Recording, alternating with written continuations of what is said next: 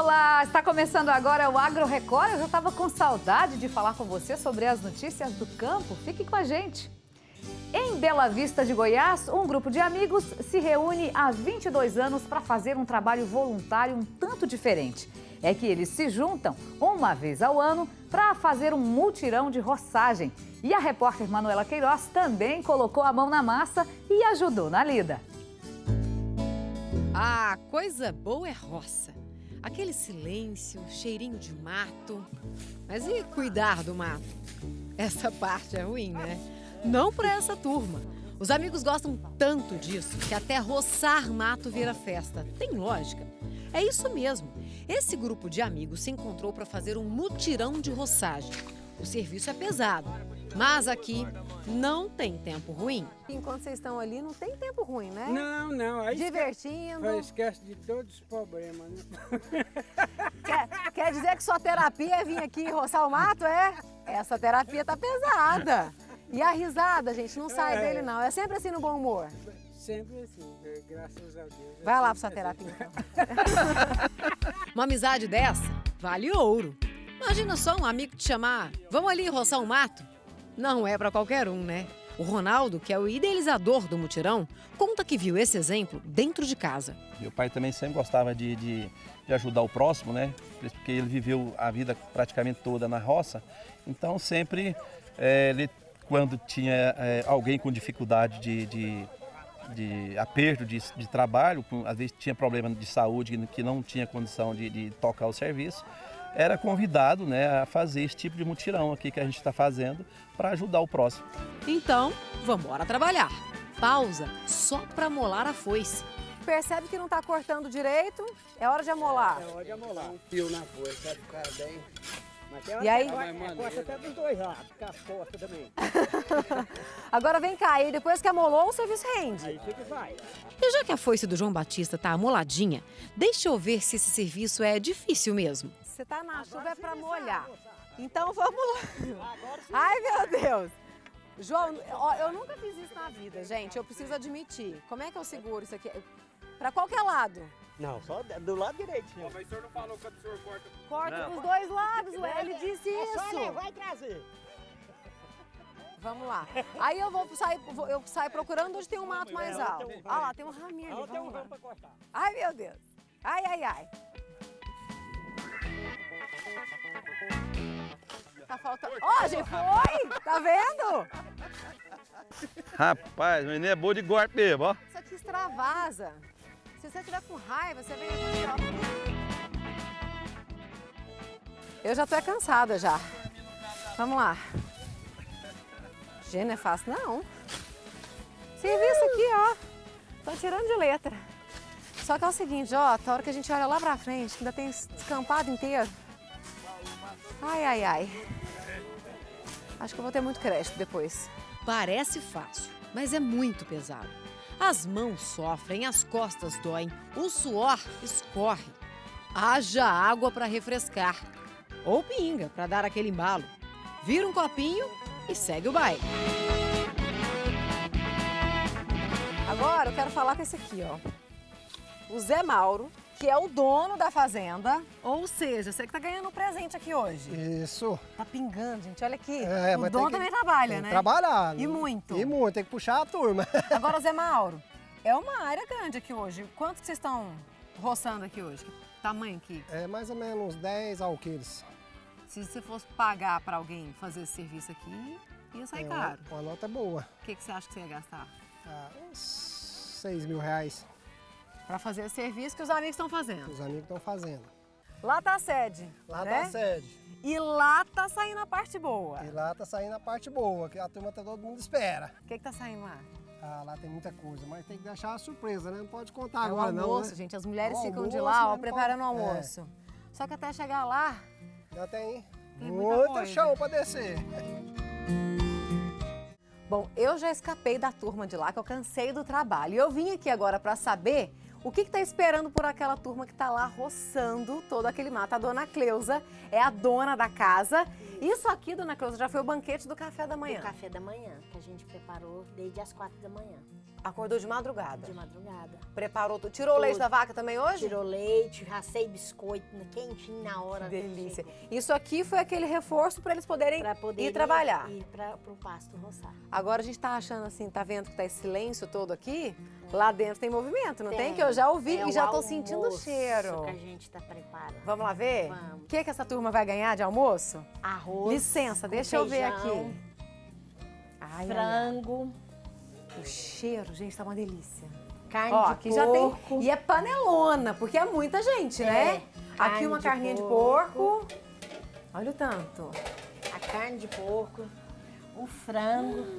Olha o frango, gente. E Ingredientes. olha o tanto de mulher Olha tanto de reunida mulher me aqui. auxiliando aqui na cozinha. É, porque afinal de contas, pra servir um banquete desse, Mandioca. já ajuda, né, dona Cleusa? Almôndegas, carne de porco fritinha dali. E a Valdete é a esposa do Ronaldo, que foi o idealizador disso tudo. Você acompanha desde o primeiro. Desde o primeiro. Muitos anos Se já. eu não estou enganada, é o 22º mutirão.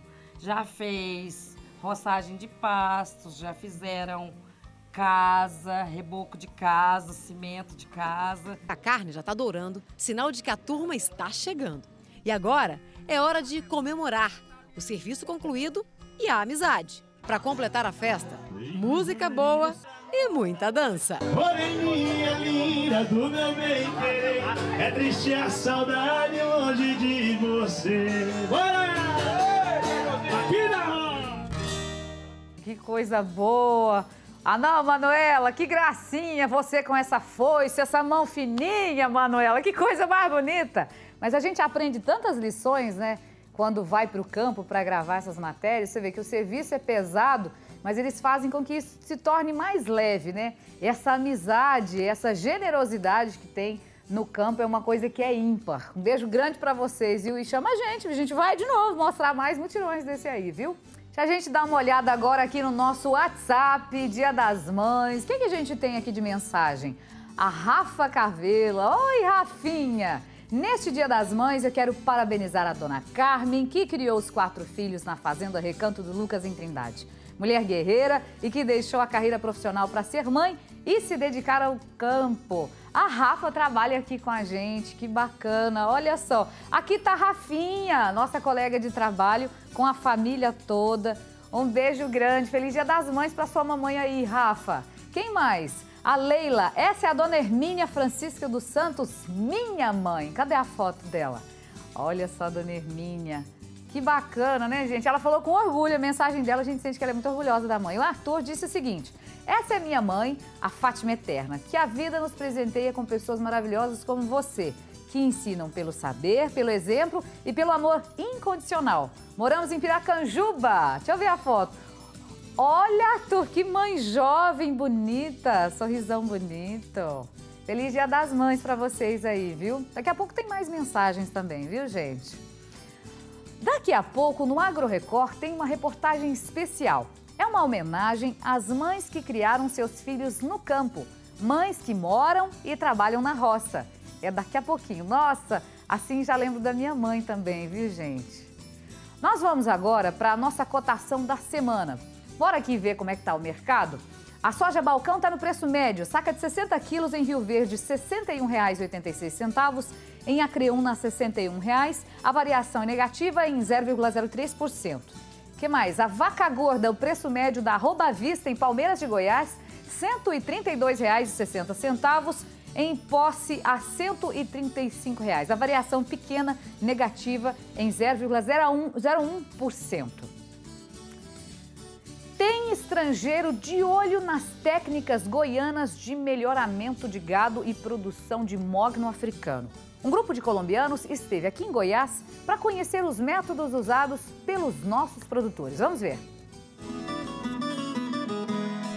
Os colombianos acompanharam com olhares atentos a apresentação sobre melhoramento genético de gado das raças zebuínos na Expo Park em Humas. Lo más interesante para nosotros es buscar nuevas alternativas porque Colombia tiene muchas eh, eh, cosas que adoptar o adaptar mejor de Brasil. Wagner Miranda trabalha com melhoramento genético bovino e comercializa sêmen e matrizes.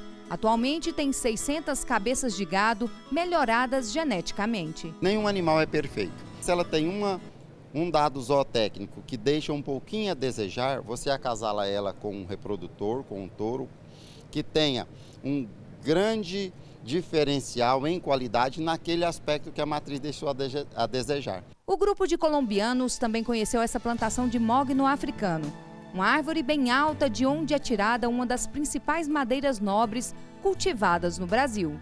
Em uma área de 8 hectares, 5 mil mudas foram plantadas, na imensidão também existem duas espécies caia. As duas pedem é, climas diferentes, né? demandas hídricas diferentes, então elas são espécies primas, mas que têm características e finalidades distintas. Né? Então a gente vai colocar às vezes o caivorensis num solo que tem um pouquinho mais de fertilidade, a questão hídrica é bem mais desenvolvida, né? E o caia senegalense a gente pode trabalhar em um local que às vezes tem um déficit hídrico maior. A seleção das mudas é criteriosa. Acontece a partir do padrão estético das árvores e das sementes.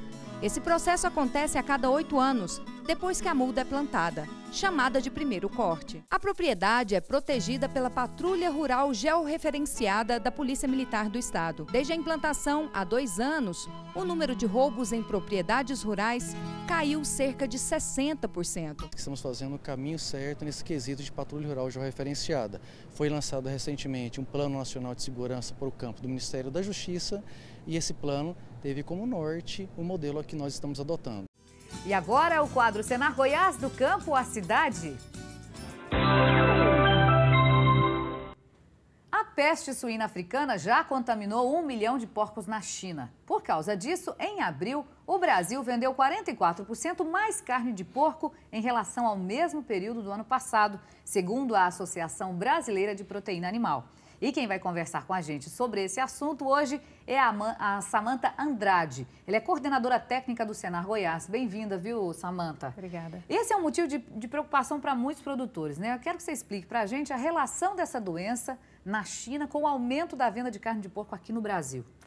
Então, a China é o maior produtor e o maior consumidor dessa carne, né, da carne suína.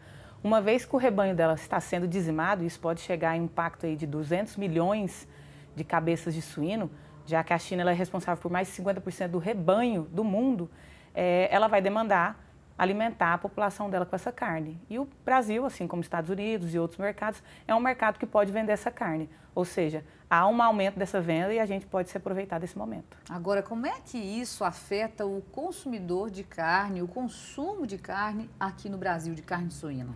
Já está acontecendo nos Estados Unidos, né, em que é um dos mercados que aumentou a venda, né, uma venda com um preço um pouco maior nesse momento em que a demanda é mais alta. Os Estados Unidos hoje já tem um preço mais alto para o mercado interno, visto que a carne né, foi de, totalmente direcionada para o mercado externo. E isso pode acontecer no Brasil, uma vez que o Brasil pode se aproveitar desse momento e vender essa carne para a China, alimentar esse nicho e assim ficar talvez com uma quantidade menor no mercado interno, aumentando aí o preço para o consumidor dessa proteína animal. E isso deixa os nossos produtores em estado de alerta, né? O que, que esses produtores podem fazer para que essa doença não chegue no Brasil e como é que o Senar faz para poder auxiliar esse produtor? Quando se trata de qualquer doença, né, a prevenção, o planejamento é a melhor estratégia. E o Senar Goiás conta com diversos treinamentos, cursos, palestras, eventos que a gente participa como apoio, como organizadores, no que tange a sanidade suína, né, ao manejo suíno, a produção, reprodução. Então, o Senar Goiás ele se encontra disponível é, para fornecer essas informações e essas qualificações a fim de que o produtor esteja mais bem preparado, tanto para se manter nesse mercado, né, com as oscilações, tanto para cima quanto para baixo, quanto para se prevenir, não só quanto a essa doença, mas quanto às outras. Certo, e isso gera muitas dúvidas para os produtores, né? O Senar Goiás também pode tirar essas dúvidas. Como é que o produtor faz para sanar essas dúvidas e entrar em contato com vocês? Olha, a gente está aqui na sede em Goiânia, né? Nosso telefone é o 3412-2700. Pode repetir? Temos 3412-2700. Temos veterinários, agrônomos, né? A gente está sempre à disposição. Temos um grande parceiro que é a FAEG, com a representatividade né, do produtor é, no sistema aí, no que tange ao agronegócio, e a gente está sempre à disposição para qualquer tipo de atendimento, seja no interior, seja aqui em Goiânia. Muito obrigada, Samanta. De nada. Gente, esse foi o quadro Senar Goiás, do campo à cidade. No próximo bloco eu vou mostrar para você que pecuaristas de Silvânia investiram em tecnologia e conseguiram aumentar a produção de leite. É já já.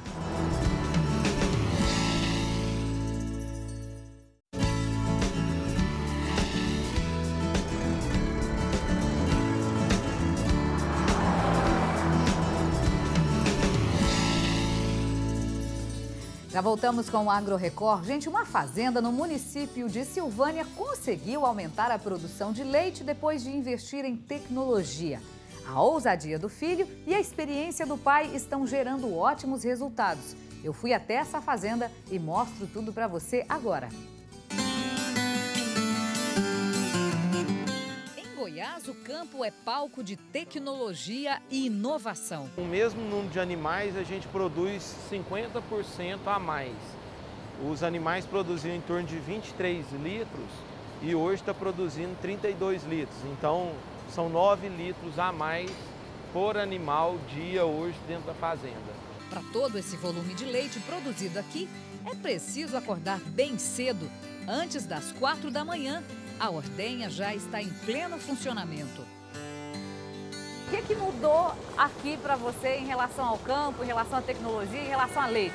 Quando eu cheguei, era quase 10 anos, tinha 170 animais. Aí você, você pensa a evolução desse, desses anos para cá, né? E a diferença, a gente era outra ordenha, menos, não tinha tecnologia como hoje, né? Não tinha os barracões que tem hoje para produzir leite. São quantos turnos aqui? São três turnos. São três turnos e esses 600 animais passam essas três vezes três aqui. Vezes. Vamos dizer que são 1.800 animais passando dentro dessa ordem por dia. É muita coisa para pensar, né? É, um pouquinho. Hoje, eu chego lá dentro, dentro do computador, eu sei tudo que o animal está produzindo. E essa informação, ela está num chip que está no tá animal? Está no chip, está dentro do rumen do animal. Esse 11.9 aqui é o quê? Esse é o peso. Isso é a produção que ela deu agora, nessa ordenha. Isso vai somar com mais duas ordenhas e eu vou ter o número fechando no final, no turno da noite, vou fechar o peso de leite que esse animal deu.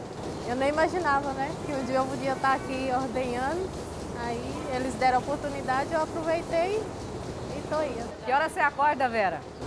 Hoje eu acordei às três e meia. Toma um café? Traz o café e já começa. E o leite não falta, né? É, não falta. Até um subsolo foi construído para garantir, através de testes severos, a qualidade do leite que sai daqui. Que aqui é feita a coleta individual para análise é, de CCS, de cultura, onde aqui um funcionário sozinho ele tem como fazer toda essa coleta. Toda essa tecnologia que o senhor tem investido aqui ao longo dos últimos anos é um controle rigoroso de qualidade. É, a gente vem preparando há muitos anos, né? Para que a gente possa ter um leite de boa qualidade. Eu acho que é um produto nobre, não tem como a gente pensar, é, principalmente o, em exportação, se nós não tivermos leite de boa qualidade. Né? Então a gente está preparando para o futuro.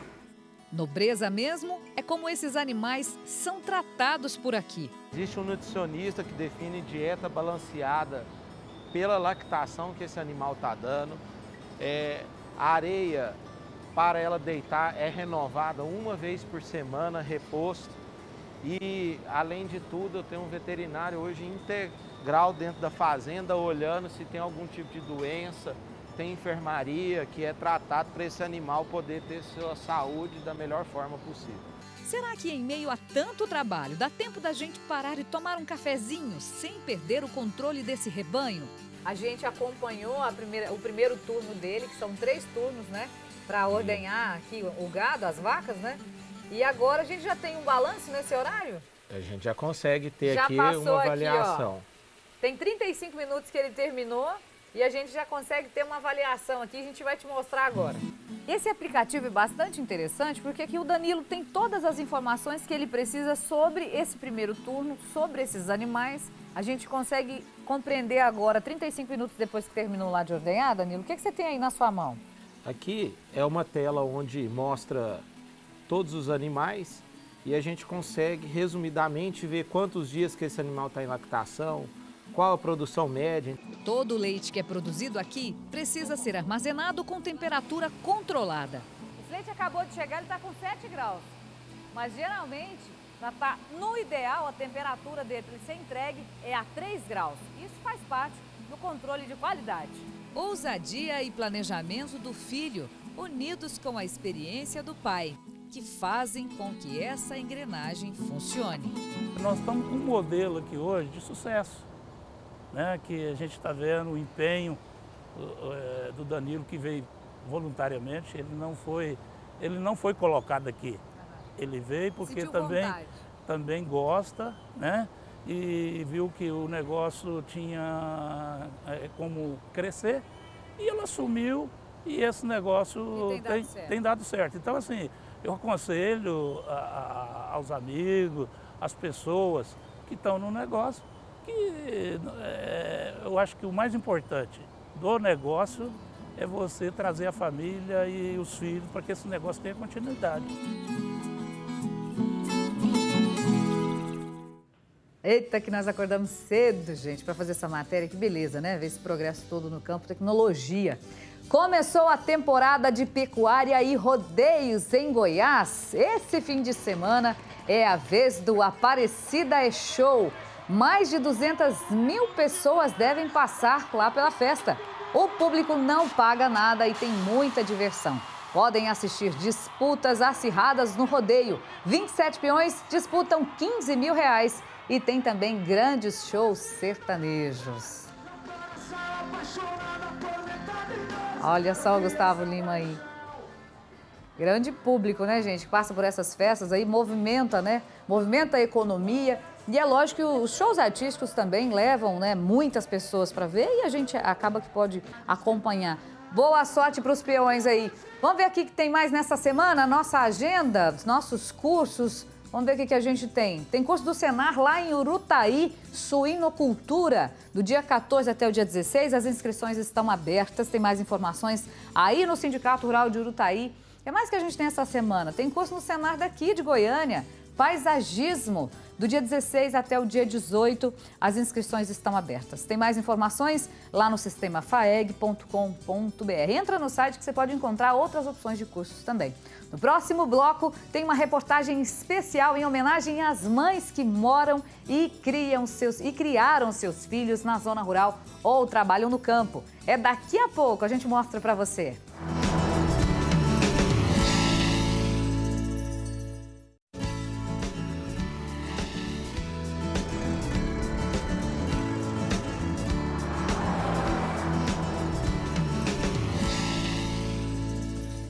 Já estamos de volta com o Agro Record. Muito obrigada pela sua companhia. Nesse programa, a gente deixa todo o nosso carinho, né? Abraço carinhoso para as mamães que acompanham a gente aqui também. Gente, na próxima sexta-feira começa a pecuária de Goiânia e vai até o dia 26 de maio. No dia 15 já começa a chegada dos animais. São mais de 140 expositores esse ano. Nos 10 dias de festa serão realizados julgamentos e leilões de animais, palestras, congressos técnicos, os negócios deverão ultrapassar 200 milhões de reais. E tem também os grandes shows sertanejos que atraem multidões para a nossa festa, né? E agora você vai saber tudo o que vai rolar na tela da Record TV Goiás hoje.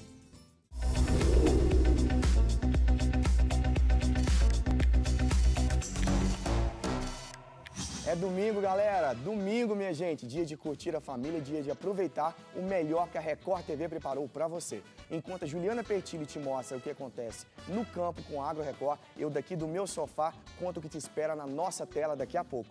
Olha só, ao meio-dia e 45, Geraldo Luiz, nosso contador de histórias, chega na tela da Record TV para emocionar, divertir com o Domingo Show. E a cada domingo você acompanha histórias emocionantes de personagens da vida real Olha só. O menino está preso ao corpo de uma criança. Neste domingo, meio-dia e 45, a emocionante história do homem que não cresceu. Pessoal, fazia bullying comigo. Domingo Show. Eu vim trazer quatro presentes para você. E às 15h45 não tem para ninguém, só para ele, nosso Rodrigo Faro. Chega talentoso, irreverente e divertido para animar o seu domingo com a Hora do Faro. Embarque com a gente nessa viagem. 7h45 da noite é hora da sua revista eletrônica com o Domingo Espetacular, trazendo o panorama geral dos fatos que marcaram a semana e os quadros para levar o melhor conteúdo para os nossos telespectadores. A história do homem que provou na justiça a inocência do filho. Ele investigou tudo por conta própria. O bebê que muda a história da realeza britânica é afrodescendente e a mãe é americana. E a invasão dos patinetes. Solução ou problema? É domingo, depois da hora do faro. Até lá. É isso aí, galera. É domingão. Fique de olho na programação da Record TV Goiás. E como a gente está no final de semana do Dia das Mães, a gente quer aproveitar para homenagear essas mães aqui com nossas mensagens de WhatsApp. Deixa eu ver as mensagens que tem aqui pra gente. A Kleine, quero desejar um feliz Dia das Mães para dona Bigair Casimiro, professora aposentada que ama criar galinha caipira e cuidar das suas flores. Ela mora na fazenda Cedro, em Córrego do Ouro. A Kleine é irmã da Kelsey, nossa produtora do Cidade Alerta. Olha só, nossa editora do Cidade Alerta. Olha que gracinha, gente. Feliz Dia das Mães para a senhora. Um beijo. A Natana, nossa homenagem é para nossa rainha Neurileide. Ela é extensionista social da Imater. Tudo que somos hoje é por ela, pelo seu trabalho e dedicação. Te amamos, mamãe, e seus quatro filhos, Catiúcia, Lorena, Pedro e Natana. Feliz Dia das Mães. Vamos ver a mamãe. Olha que mamãe bonita. Olha que família bonita, gente. Parabéns. Feliz Dia das Mães, viu? A Alana disse assim: Feliz Dia das Mães para Dona Maria Tereza, que é produtora de Guariroba, no município de Aurilândia.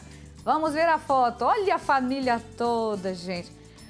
Olha, Dona Maria Tereza, eu quero fazer matéria com a senhora, ver como é que funciona o trabalho. Tá aqui, ó, Guariroba tá aqui no cantinho, ó. Um beijo, família bonita, feliz Dia das Mães. Que bacana, né? São essas mães guerreiras que colocam pessoas maravilhosas na vida, né? São essas pessoas que fazem a diferença por aí. Agora, gente, em Itaberaí, uma mãe guerreira que veio da Suíça criou os filhos numa fazenda.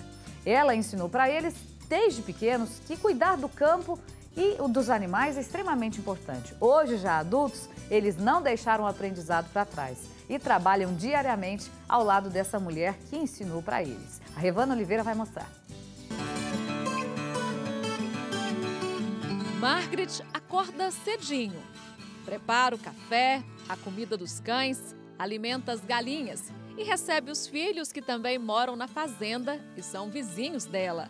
Antes de dividir as tarefas do dia, tem que tomar aquele cafezinho que só a mamãe sabe fazer. E é quando conhecemos a história dessa família que veio da Suíça e fixou raízes no município de Itaberaí. Margaret nos mostra o álbum de fotografias assim que ela chegou no Brasil com o marido. Depois, foto dos filhos. Primeiro o André, depois Sandra e a caçula Mônica. Todos nascidos aqui, criados juntos dos animais e da terra. Bom, a dona Margaret e o esposo dela, que é o Sr. Herman, chegaram aqui no Brasil em 1981, logo depois que eles se casaram. E foi sorte que nós escolhemos essa terra aqui em Itaberaí, né? Tudo bem, foi através de um outro suíço que morava lá em Goiânia. E meu esposo gostou tanto da terra aqui, que viu que a terra é fértil, tem água muito nascente, mato ainda, que eu acho muito importante. Escolheram e compraram essa fazenda aqui. André é o suporte da fazenda, desde a horta orgânica junto da mãe a outras coisas que o pai que está sempre no trator precisa na propriedade. Olha, eu ajudo aqui muita coisa é, na fazenda, em administração, é, análise de solo, é, melhoramento de pasto, cultivo de milho para fazer a própria ração para as vacas, né? E esse incentivo que a sua mãe te deu, fez com que você escolhesse essa vida? Já pensou em viver na cidade, em ter outra profissão? Não, eu não dou conta de viver na cidade. Meu, minha vida é aqui no campo. Eu amo o campo. É, meus pais me ensinaram que em cima da terra a gente pode tirar o próprio alimento da gente, né? E nisso, então eu foquei nesse ambiente gostoso que é o campo. Agora, para vacinar o gado, Margaret coloca as caixas de isopor e os apetrechos no carro. De lá vai para o curral. Bom, chegamos aqui no curral para acompanhar o trabalho da dona Margaret Mas antes dela começar a vacinação, tem também o cuidado com os bezerros. Ela já está aqui ao lado, vai ser um trabalho feito entre mãe e filha. Dona Margaret, como é que é esse trabalho? Antes da senhora começar a aplicar a medicação, me explica como é que ele é feito. Sim, tudo bem. A gente olha o estado do bezerro, aí eu vejo que ele está com a cabeça um pouquinho baixa, então, sinal que está doente. Vamos ver direitinho, pode ser o olho, Mônica. Ele tem um olho bem branco, até amarelo, então sinal de tristeza. Tristeza é, parasitário. Além de campeã de equitação na Suíça, Margaret também fez curso de auxiliar de veterinária lá e por isso é tão habilidosa no manejo com os animais. Filha segura e mãe aplica a medicação nos bezerros. Terminado o trabalho lá com os bezerros, é hora da vacinação. E aqui novamente o trabalho é feito entre mãe e dois filhos. O André está aqui, ele é o responsável por tocar o gado aqui para o brete, que é onde o animal fica preso para receber a vacina. E aqui a dona Margaret e a Mônica, que vão fazer a vacinação. Mônica, e para você, como é trabalhar com sua mãe? Né? Eu vejo que você sabe tudo de fazenda aqui. Foi ela que te incentivou? Desde criança. Esse amor que eu tenho por animais, esse cuidado que a gente tem, foi minha mãe que que incentivou. E a gente sabe que é muito importante nós mesmos, enquanto proprietários, acompanhar o manejo, a sanidade, para a gente ter a garantia de entrega de um produto de qualidade e crias boas.